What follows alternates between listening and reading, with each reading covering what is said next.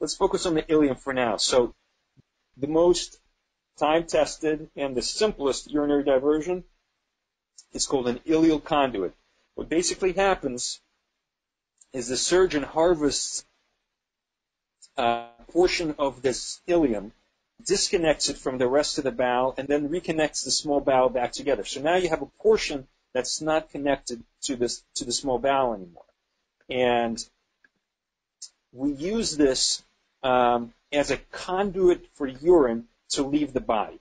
Okay, so this is um, this is what's called an ileal conduit. This is um, basically just a small piece of the small bowel that's connected to the ureters, right, like this, and the tip of this is brought out as a stoma. Okay, so I'm going to go and I'm going to show you what that looks like on the outside of the body. Okay, so so on the outside, you have it here. So, you know, let's say this was an open cystectomy, um, robotic open that, you know, we'll talk about that in a minute.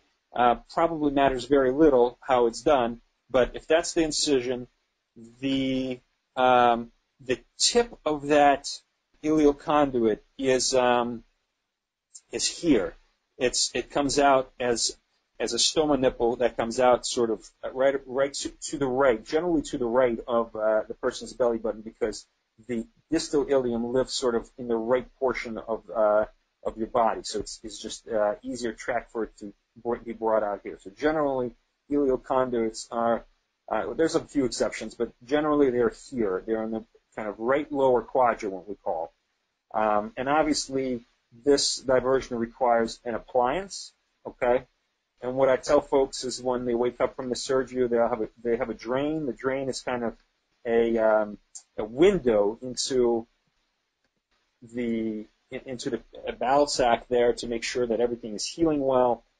Just while we're on this picture here, there are also diversion stents that patients wake up with, and these diversion stents uh, generally come out of the stoma like this, okay, like little two uh, pieces of uh, cooked spaghetti. And these are generally removed about a week to, two, to three weeks after surgery, depending on surgeon preference and sort of specifics of the case. But what these do, I'll show you these in a minute. Um, they basically help the ureters, the tubes, heal to the uh. Okay. Um, so I'm going to go back to the other image here, and let me get the uh, cystectomy stamp back uh, back on, which is right here. And the ileal looks like this. So these tubes that I just showed you, they basically, they go from the kidney, the surgeon puts them in from the kidney, they go through the ureter, they go, they, they transverse the anastomosis, which is a fancy way to describe a connection. The anastomosis is a connection between the urinary tract and the gastrointestinal tract. Um, and uh, they come out of the body. So you, you know, two and they come out like this. So I showed you the stoma on the other image. This is why patients wake up with uh, with these two little straws coming out of their stoma. And again, these are removed about um, um, you know one to three weeks again, depending on the particulars of the case uh, after surgery. Now, one of the dreaded, you know, just jumping ahead, talking a little bit about the complications, and we'll talk about uh, we'll talk about that uh, in a, more in a minute. But one of the dreaded problems with with these uh, surgeries is this connection. You were connecting the urinary tract to the gastrointestinal tract, and you know, in five to fifteen percent of patients, depending on whose series you look at, these connections stricture, and they they um, uh, they basically close down with time. It's a very frustrating problem because everything is going well, and all of a sudden, patient gets uh, an infection or fever and um, or they um, or just incidentally they um, get a scan and you can see the kidney what's called being hydronephrotic having a uh, having a dilation. The urine can't get out and the kidney swells. So the kidney can sort of deteriorate over time if that's left without um, a fix. And so what's generally done is first a nephrostomy tube is placed where the tube that goes from the kidney uh, to, uh, from the skin to the kidney, um, and then the, generally done in radiology, um, that that stent that the patient had in the beginning is exchanged. The tube from the back is exchanged back into the stent. And this can be sort of uh, a frustrating process because patients have to come back into the hospital, get antibiotics.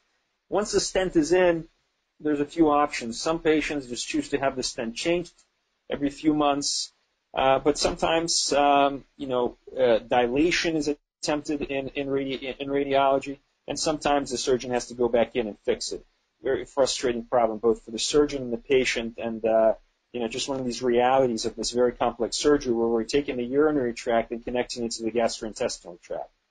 Um, we'll talk a little bit about sort of uh, other issues that can come up with this surgery, but um, you know, that's one that's um, you know that everybody tries to avoid and uh, is very frustrating when this happens.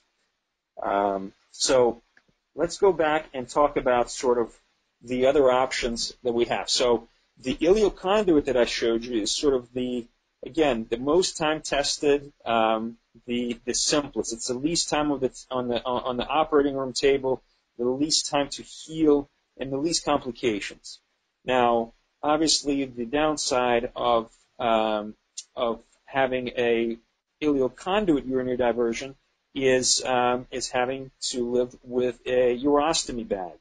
Now, I'll tell you that um, the quality of life that folks can have with a urostomy bag is extremely high. The goal is really to get people back to their lives. I tell my patients they can, you know, scuba dive and skydive with that bag. And, you know, um, I'm not sure if anybody's really scuba dived with it, but I definitely have patients that uh, go regularly swimming in the pool with these urostomy bags and really live very, very full lives. And actually, you know, we're going to talk about the continent urinary diversion. When surgeons first started doing them, we're really um, everybody felt that that was a much superior diversion um, in terms of quality of life. But when you ask folks, you know, um, who live with with an ileoconduit um, versus a you know neobladder or, or uh, you know another continent urinary diversion, and asked them uh, some quality of life questions, it was very hard to tell the difference between the quality of life that one has with an ileoconduit versus a neobladder. And I'll be honest with you, there, the, the da- those data taught us that actually um, the, the sense of disappointment that people have with their choice is actually higher with neobladders and continent urinary diversions because we think probably those were just, you know, for lack of a better term, oversold to them. I mean, they're they're good diversions, and some people do incredibly well with neobladders, and for some folks, those that's the best choice. But I think people need to go into those diversions with their eyes open and know that there are still challenges with the continent diversion.